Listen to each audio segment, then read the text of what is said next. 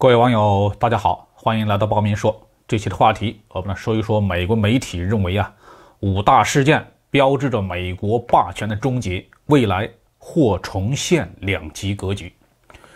世界局势正面临着百年未有之大变局，在这个变局之中啊，中国的崛起和美国的相对衰落是最核心的变化。美国的主流政客对这一变局很不开心，也很不甘心。从特朗普政府开始的对华打压政策，就是美国政客试图维持美国一强独霸局面所采取的措施。我们必须认识到，美国实行这些对华打压政策，并不是特朗普一个人或者是某一些政客的主意，而是美国两党上下一致的意见，是美国政界的主流共识。这些人呢，对失去超级大国在世界上称王称霸的地位是非常的不爽啊。但是，我们也注意到，美国也有一些学者对于美国霸权地位的终结有着非常清醒的认识。美国乔治梅森大学政策与政府学院的教授马克·卡茨最近在国家利益网站上撰文，就美国霸权终结的标志和未来世界的两极格局进行了探讨。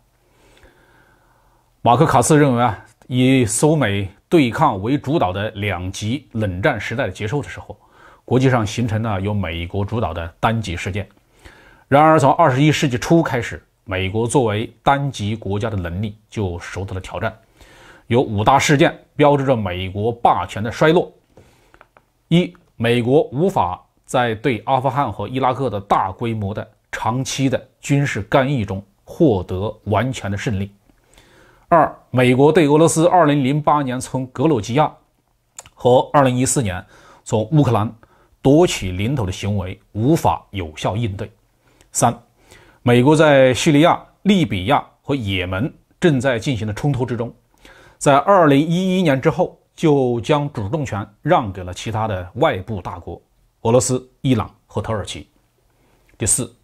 美国无力阻止日益强大的中国的崛起，无法阻止中国维护对南海和东海的海洋主权。无法阻止中国通过“一带一路”的倡议增加在世界范围内的影响力。第五，美国与许多的对手和解的尝试遭到失败，尤其是特朗普试图与朝鲜甚至伊朗的和解的努力更是惨败。除了这些事件，到了二零二一年，又有几件大事儿发生。啊，美国劝阻盟友国家与对手合作的努力也遭到了失败。这主要是指美国在 G7 峰会或北约峰会上试图拉拢盟友，构建反华联盟，但是欧盟与北约的主要国家都表示不愿意与中国为敌，希望继续与中国对话和发展经贸关系。另一件事儿就是美国政府宣布从阿富汗撤军，并宣布美军将在2021年底前结束其在伊拉克的军事行动，这些都是美国主导的单极事件正在崩溃的最新迹象。对于世界局势未来的走向啊，这个马克·卡茨教授表示，美国最担心的是，虽然中国也呼吁建立一个多极世界，以取代美国为主导的单极世界，但中国日益表达的未来的愿景，似乎是建立一个以中国为中心的世界。